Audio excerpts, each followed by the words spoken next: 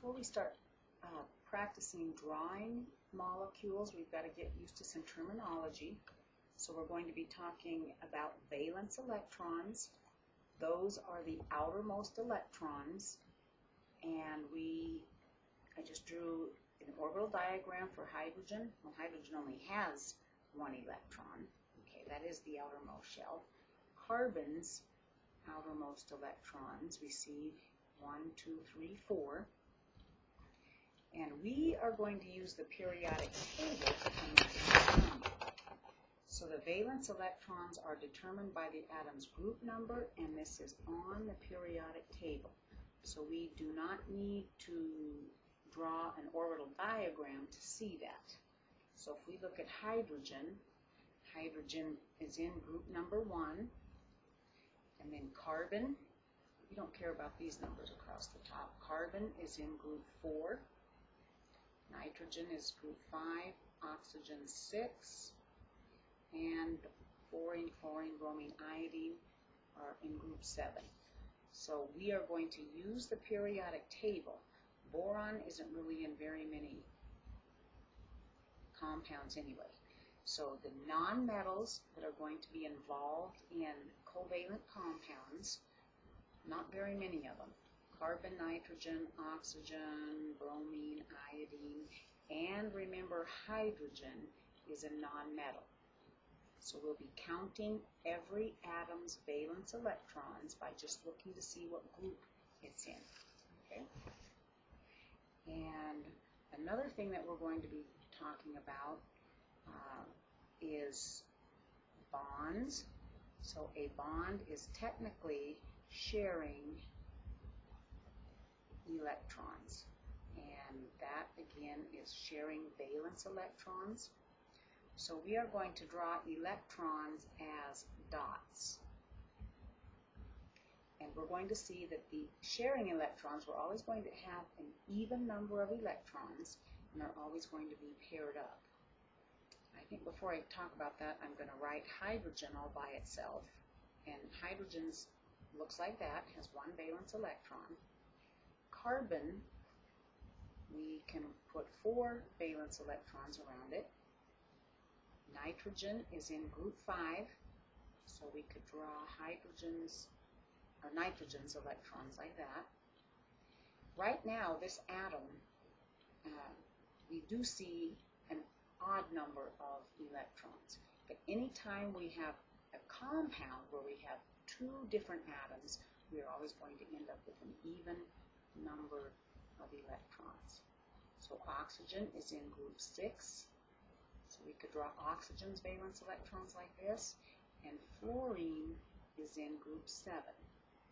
And this will help us if there's more than one possible structure to draw. We're going to see that hydrogen only ever has one atom connected to it. Carbon generally has four lines to it. Nitrogen generally has three. Oxygen has two. And chlorine has one. Okay. Now, so another thing we're going to uh, care about. So this is just an individual atom with the valence electrons represented. So I'm going to give us an example of a couple of molecules or covalent compounds.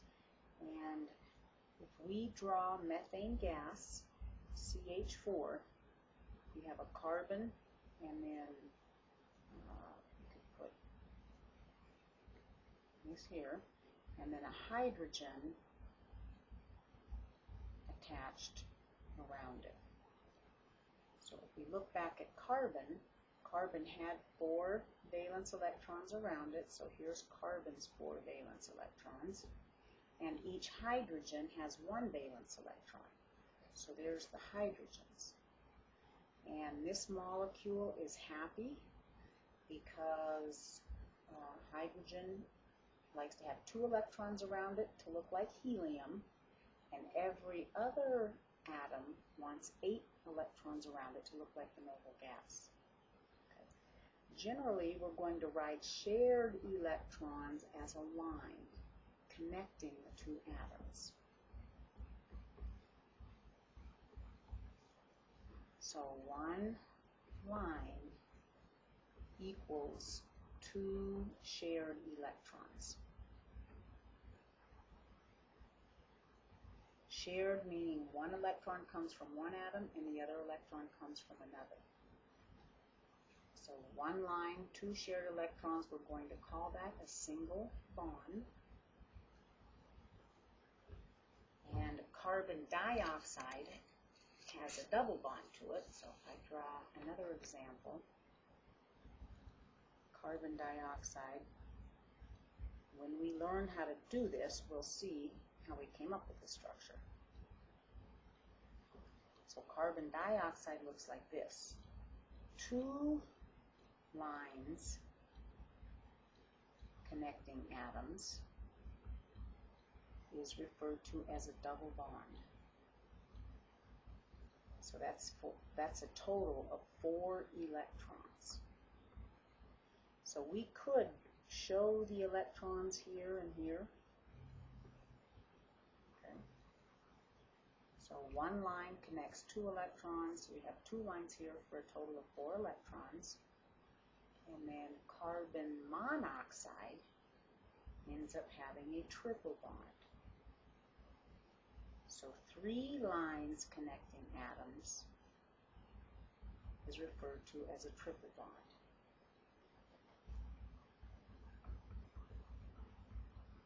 And we haven't discussed why the compounds were arranged like this, but we're going to go back to that magic number 8.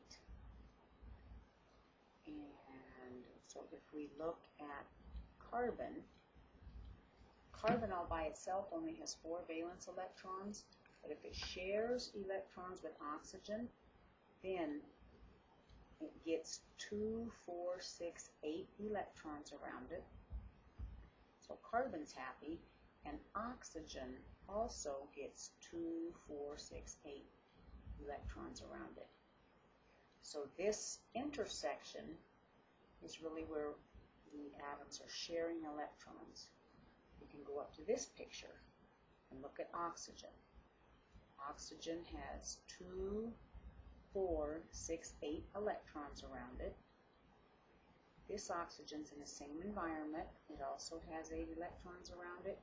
And carbon has eight electrons around it. So we count the shared electrons twice, and that constitutes a bond.